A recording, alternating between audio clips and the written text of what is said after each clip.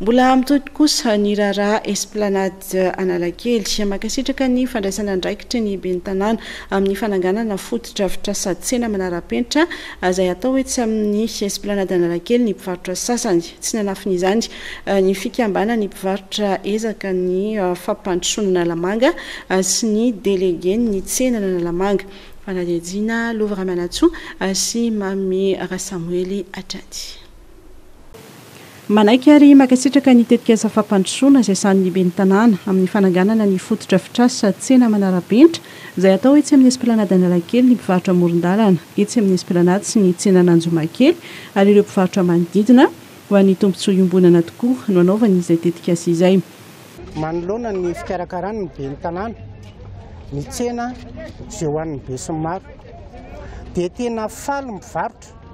ary tena faly aho noho ny amin'ny hoe ben'ny tanàna ohatran'io izy nahatonina an'izany hoe omena tsena manaraka ny fenitra ny vahoaka eto amin'ny faritra Analakely dia tsy eto Analakely irery tsy eto amin'ny ah, faritra Esplanade na Anjomakely irery ah, fa manodidina an' Analakely izay moa izany dia fikambanana mpivarotra ezaka fampandrosoana Analamanga izay ah, ny hampirisika ny ben'ny tanàna mihitsy ary misaotra azy manokana Nahazo ny nazahoanay an'izay vina ho hanamboarany tsena ho anay izay. Maniry ny mpivarotra mba hisy ny fihaonana miaraka amin'ny ben'ny tanàna mba tsy hisian'ny kolikoly satria leo nifitaka izay nataon'ny mpitondra teo aloha ny mpivarotra tamin'ny fampanantenana azy ireo.